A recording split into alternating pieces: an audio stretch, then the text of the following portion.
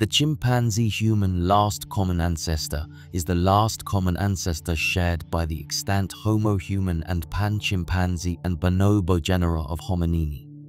Estimates of the divergence date vary widely from 13 to 5 million years ago.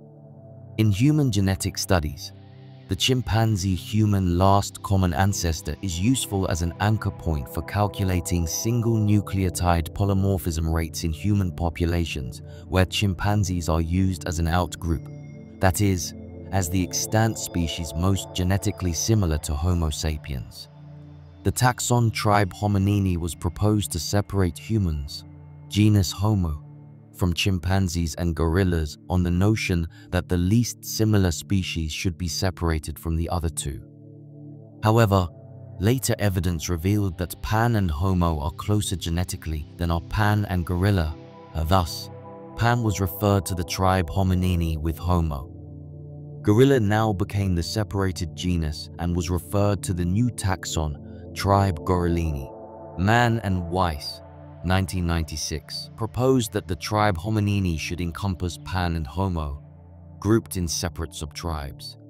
1. They classified Homo and all bipedal apes in the subtribe Hominina and Pan in the subtribe Panina.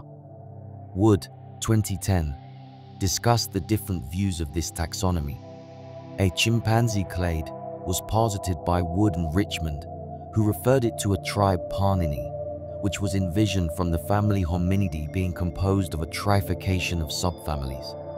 Richard Wrangham, 2001, argued that the CHLCA species was very similar to the common chimpanzee, Pan troglodytes, so much so that it should be classified as a member of the genus Pan and be given the taxonomic name Pan prior all the human-related genera of tribe Hominini that arose after divergence from Pan are members of the subtribe Hominina, including the genera Homo and Australopithecus.